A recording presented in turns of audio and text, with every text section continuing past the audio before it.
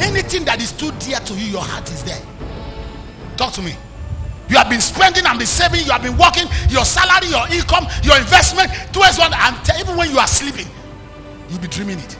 He said, "For where your treasure is, there will your heart be also."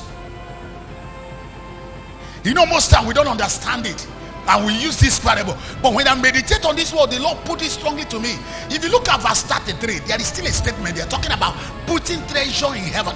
What does he say? He says, Say that you have and give alms. That what alms they are talking about giving to the work of God, giving to the poor, helping to the people you are better than, doing good work. He said, Provide yourself bags which wax not old, a treasure in the heaven that faileth not, bear no thief, approach it, neither moth corrupt.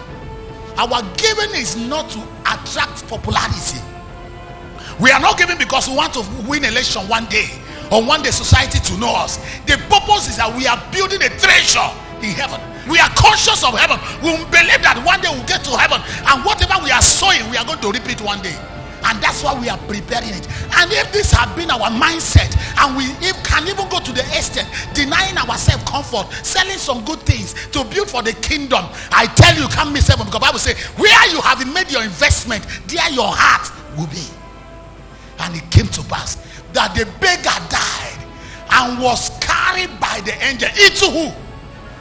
Have you ever asked yourself why is he called Abraham's bosom?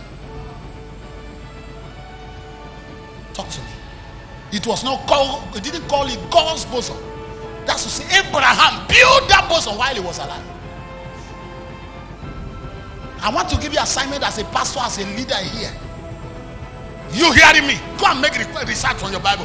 How many servants did Abraham have in his own time? He fed them, he clothed them, he sponsored their children to school. There were some servants, they were man and woman that had children. They were under Abraham, being feeding, everything about them lie on him. And yet he don't have a child and was taking care of them. Ah, he didn't know he was building a treasure. He did not just give to men. He gave to prophet who were Melchizedek, God himself. He gave to Trinity, Father, Son, and Holy Ghost. Genesis 18. These are treasure. So when you are sowing your seed, you do. Now there are different. Some are given because people you want people to know that I know how to give. That's rubbish. When you give with the heart, knowing that this is my part of worship. You are not giving to people to be recognized. You are giving to people because you are preparing a treasure. It's a part of my worship. I tell you, you are preparing something spiritually. Even though God did not carry that money physically, but the value is counted in heaven. That's why Jesus said, if your money can go towards the kingdom, your attitude toward the kingdom, your sacrifice, purification toward the kingdom, your heart will be there because you have treasure there.